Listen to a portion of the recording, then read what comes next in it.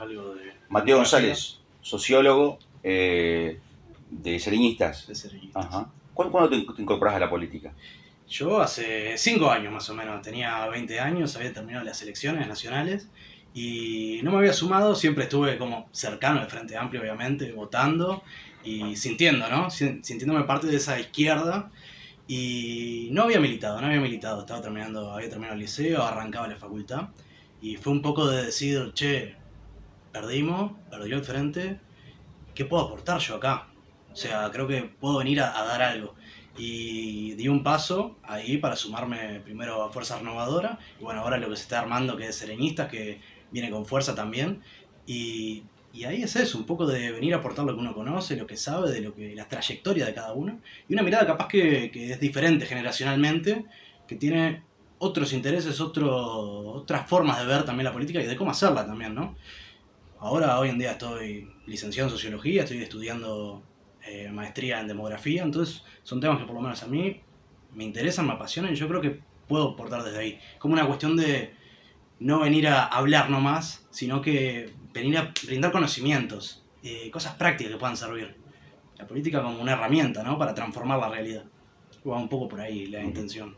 ¿Venís de familia, digamos, vinculada a la, a la izquierda, así como... No, ¿Cómo sos simplemente, no, simplemente votantes. O sea, es una cosa de, de la casa.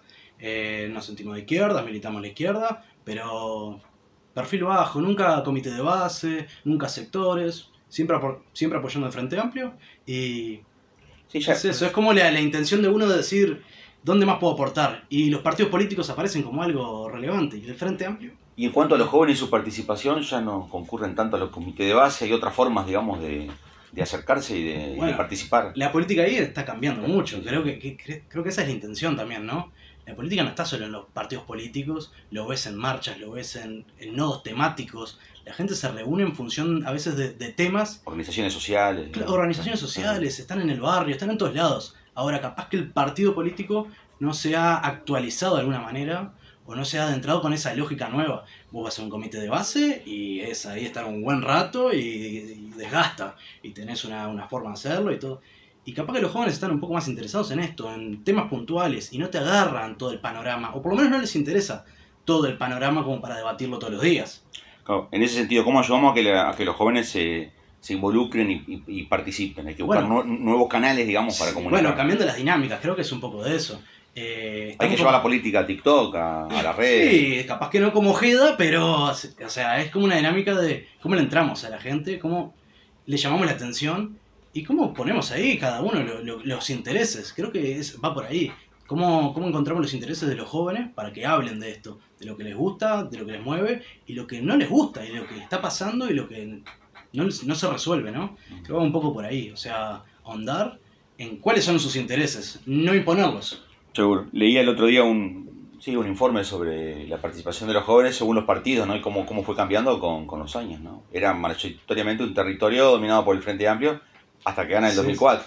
Después, con los jóvenes blancos y las elecciones del 2007, eso, eso Es que- empieza a cambiar. o sea que un poco, de alguna manera, el ejercicio del poder este, Sí. te va te va este, metiendo en, en, en- otra dinámica y, y te aleja de la gente. Bueno, un poco le pasó al frente de eso. Sigue siendo igual el partido eh, eh, más elegido por los jóvenes, ¿no? O sea, una cosa es por eso las votaciones, otra cosa es cómo mejoramos la La estructura y la estructura y, y generamos nuevas dinámicas y nuevos espacios para que, para que puedan participar. Y también me parece importante es que los jóvenes no solamente tienen que ser como par- partícipes, sino también tienen, eh, desde la política pública, no se ha atendido muchas de las demandas que ellos plantean. Creo que su voz no, se- no ha sido escuchada en- cuando fue eh, expresada.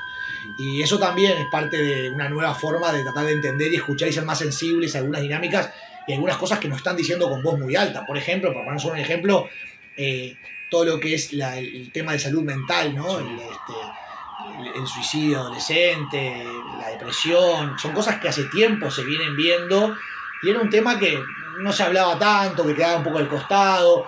Después tuvimos una ley de salud mental, o sea, hubo un avance, pero también medio tímido. Creo que ahora es ineludible este tema. Entonces, si vos no le llevas soluciones y propuestas concretas a las demandas, este, es difícil. Pienso también, en, por ejemplo, en la vivienda propia, ¿no? Sí, que es, sí, es una demanda de los jóvenes. Todos pensamos, bueno, eh, comparado con nuestros viejos, ¿no? La posibilidad de emanciparnos, de conseguir nuestro propio lugar, alquilando, comprando, es cada vez más, en una quimera es más difícil y no ha habido soluciones concretas para ese rango etario y ni que hablar del empleo, o sea, los jóvenes siguen Sí, sí, teniendo el mayor desempleo, en- de- o sea, sigue siendo una población desatendida, no solamente no, no se le da participación política, sino hay que hacer un foco de políticas de juventud más potente y que cambie esa realidad, ¿no? Si no es obvio que se van a sentir no identificados. digo. No, y entrar en otra lógica que también es de que los jóvenes participen en la política, no solo para agitar banderas y pintar murales, porque eso es También. mucho la lógica que está bien, hay una parte que está muy interesante de eso que es lo vincular, te vincula, generás equipo, eh, comunidad de alguna manera, y eso también te vincula a que te quedes militando también.